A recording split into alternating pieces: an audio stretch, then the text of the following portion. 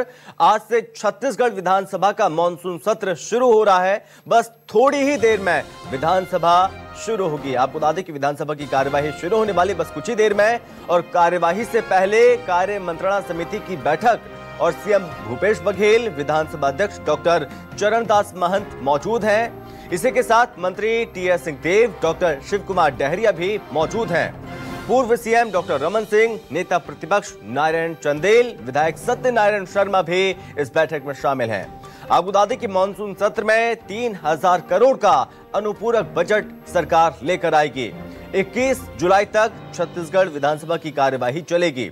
Monsoon सत्र चलेगा और सदन में पहले दिन दिवंगत विधायकों को श्रद्धांजलि दी जाएगी और सत्र में अविश्वास प्रस्ताव लाएगा विपक्ष। मानसून सत्र में विधायकों ने 550 सवाल लगाए हुए हैं।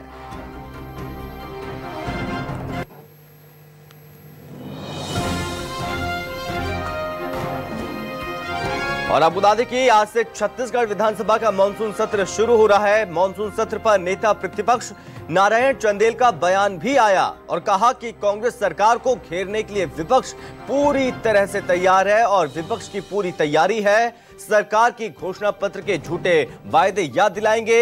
पीएससी घोटाला, राशन घोटाले जैसे मुद्दे सदन में उठाए जाएँगे। इसी के साथ रेत के अवैध खनन से पुल पुलिया कमज़ोर हो रहा है। सरकार रेत माफियाओं को संरक्षण दे रही है। ये तमाम बयान सामने आए हैं नारायण चंदेल की ओर से। आज 18 तारीख से 21 तक छत्तीसगढ़ विधानसभा का मानसून सत्र आहूत है।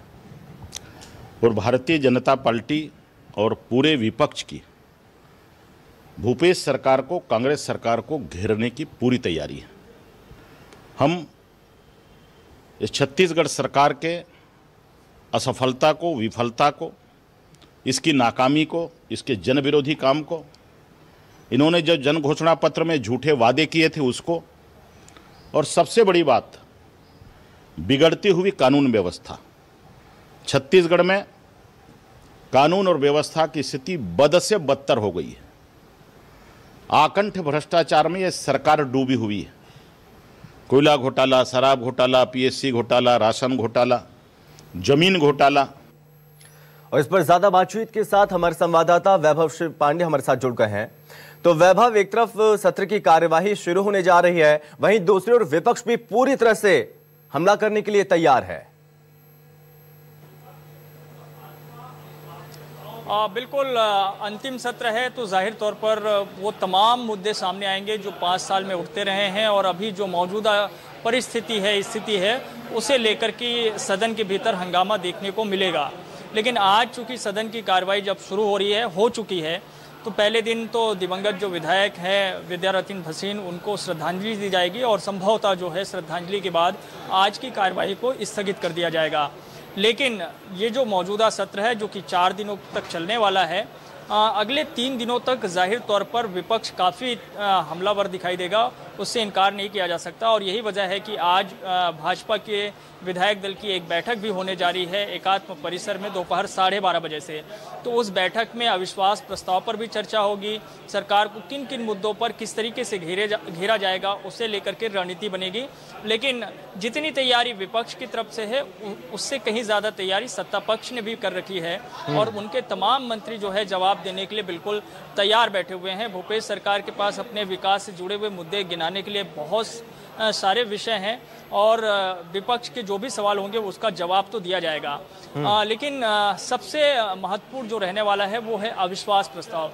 जब अविश्वास प्रस्ताव लाया जाएगा तो उस पर जो चर्चा होगी तो उसमें किन किन बिंदुओं को जो है रेखांकित किया जाएगा उस उसे किस तरीके से सदन में रखा जाएगा उस पर सबकी निगाह है क्योंकि ठीक इसके बाद फिर चुनाव की तैयारी में सबको जाना है।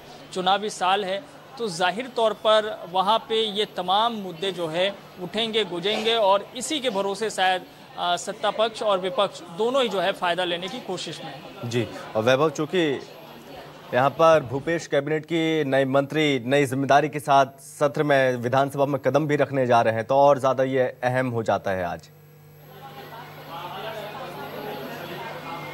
देखिए अभी जो सरकार के भीतर की जो परिस्थितियाँ बदली है आ, उसमें जो मंत्रियों के विभागों में फेरबदल हुआ है मोहन मरकाम नए मंत्री के रूप में जो है शामिल हुए हैं। आज वो सदन में बतौर मंत्री मोहन मरकाम शामिल हो रहे हैं। ऊर्जा विभाग की ज़िम्मेदारी और उप मुख्यमंत्री पद का दायित्व तो संभालने के बाद टी एस सिंहदेव सदन में शामिल हो रहे हैं। तो वो सीटिंग व्यवस्था जो है वो भी बदली हुई नज़र आएगी आज सदन के भीतर में वो भी आपको दिखाई देगी।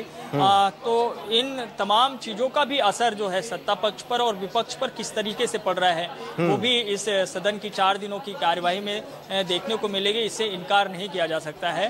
और अम, अ, मज़े की बात यह होगी कि विपक्ष के तरफ़ से जो मौजूदा मंत्री हैं मोहन मरकाम उससे लेकर क्या बातें उनके तरफ़ से कही जा रही है? ज़ाहिर तौर पर टिप्पणी होगी जैसे वो चुटकी लेते रहे हैं। और टी एस सिंहदेव को लेकर के भी चूँकि हमेशा सिंहदेव साहब निशाने पर रहे हैं विपक्ष के तो इस बार सदन के भीतर में उसे लेकर के क्या कुछ कहा जा रहा है ये भी देखने को मिलेगा। अ, लेकिन सबसे ज़्यादा जो निगाह किसी चीज़ पर है तो वो है अविश्वास प्रस्ताव। देखिए वो तो पारित होने से रहा। ज़ाहिर तौर पर वो गिरी जाएगा क्योंकि संख्या बल के लिहाज से है। विपक्ष के पास नज़रें लगातार बनी रहेंगी और इस बीच ये भी माना जा रहा है कि आज से ये जो सत्र शुरू हो रहा है भारी हंगामेदार हो सकता है और इस बीच सदन की कार्यवाही भी शुरू हो चुकी है। चलिए सीधा रुक करते हैं। एवं सामाजिक कार्यों में सक्रिय रहे। वे वैशाली नगर निर्वाचन क्षेत्र से प्रथम बार सन तेरह में तथा दूसरी बार सन अठारह में भारतीय जनता पार्टी के टिकट पर छत्तीसगढ़ विधानसभा के सदस्य निर्वाचित हुए थे। आप छत्तीसगढ़ विधानसभा की याचिका समिति के सभापति तथा कई समितियों के सदस्य रहे। वे भिलाई नगर पालिका निगम के महापौर भी रहे। इनकी पढ़ाई, लिखाई, भ्रमण एवं खेल में अभिरुचि थी। उन्होंने अपने क्षेत्र के सर्वांगीण विकास के लिए महत्वपूर्ण योगदान दिया है। उनके निधन से प्रदेश ने एक वरिष्ठ राजनेता तथा समाजसेवी को खो दिया है। श्री भानु प्रताप सिंह जी का जन्म 14 मई 1933 को रायगढ़ राज परिवार में महाराजा चक्रधर सिंह के यहाँ हुआ था। वे प्रारंभ से ही राजनीतिक एवं सामाजिक कार्यों से जुड़े रहे। सन सड़सठ में गढ़घोड़ा विधानसभा से कांग्रेस पार्टी के टिकट पर अविभाजित मध्य प्रदेश विधानसभा के सदस्य निर्वाचित हुए। तथा उन्होंने अविभाजित मध्य प्रदेश शासन में आदिम जाति कल्याण मंत्री का पद दायित्व भी संभाला। सार्वजनिक जीवन में आपकी सेवाओं को हमेशा याद रखा जाएगा। उनके निधन से प्रदेश ने एक वरिष्ठ राजनेता, कुशल प्रशासक तथा समाज सेवी को खो दिया है। माननीय अध्यक्ष महोदय, विद्यारतन भसीन जी इसी विधानसभा के लगातार दो बार सदस्य रहे। बहुत ही मिलनसार व्यक्ति। और मृदभाषी तो थे ही। अल्पभाषी भी थे। और दलगत भावना से ऊपर उठकर उनके संबंध सभी दल के लोगों से थे। इंजीनियरिंग की पढ़ाई उन्होंने की और उसके बाद भिलाई उनका कार्य क्षेत्र था। जन्म तो छिंदवाड़ा में हुआ, अध्यक्ष महोदय। भिलाई में भारतीय जनता पार्टी के ज़िले के विभिन्न पदों पर वो आसीन रहे।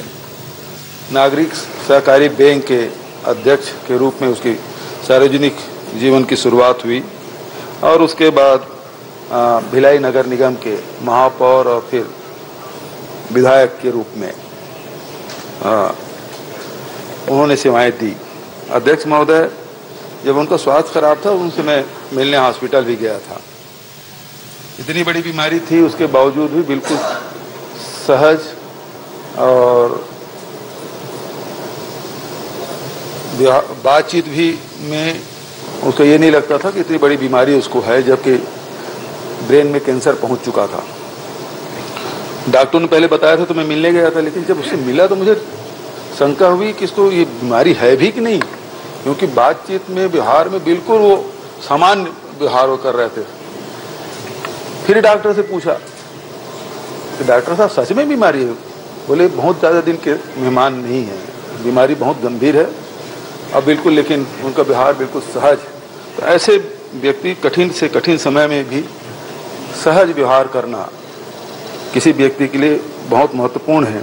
और भसीन जी के जाने से एक अपूर्णी क्षति हमारे विधानसभा को, साथ ही दुर्ग ज़िले को और पूरे उस परिवार को भी हुआ है। मैं उसके दुख में पूरे परिवार के साथ उनके भागीदार हूँ और उन्हें श्रद्धांजलि अर्पित करता हूँ।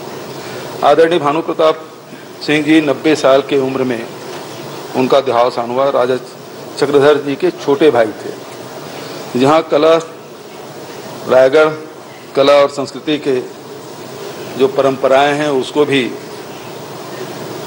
भानु प्रताप सिंह जी ने आगे बढ़ाया। उसके साथ साथ समाज सेवा के क्षेत्र में भी लगातार वो सक्रिय रहे, इंटक में भी, मजदूर संगठन से भी जुड़े रहे।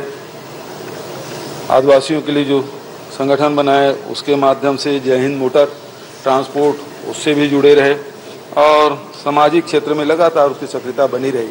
सड़सठ से लेकर बहत्तर तक वो विधायक थे और उसी बीच में संविध शासन में वो आदिम जाति कल्याण विभाग के मंत्री भी रहे। इस प्रकार से उनके निधन से एक अपूर्णी क्षति हुई है।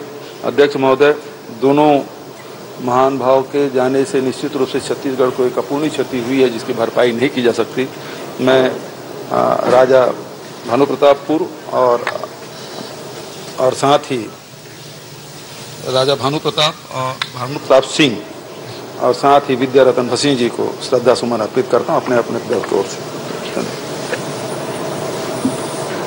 माननीय अध्यक्ष महोदय आपने दो लोगों के निधन का उल्लेख किया। माननीय विद्यारतन भसीन जी की अंत्येष्टि में हम सब लोग शामिल होने के लिए गए थे। और जब वो रामकृष्ण मिशन अस्पताल में भर्ती थे, उनके स्वास्थ्य की जानकारी भी हम सब लोग लेने के लिए गए थे। माननीय अध्यक्ष जी, विद्यारतन भसीन जी बहुत सहज, सरल और विनम्र व्यक्तित्व के धनी थे। महापौर के रूप में या दो बार छत्तीसगढ़ की विधानसभा के सदस्य के रूप में उन्होंने आम जनता की सेवा की। वो भारतीय जनता पार्टी के बहुत निष्ठावान कार्यकर्ता थे, सक्रिय कार्यकर्ता थे।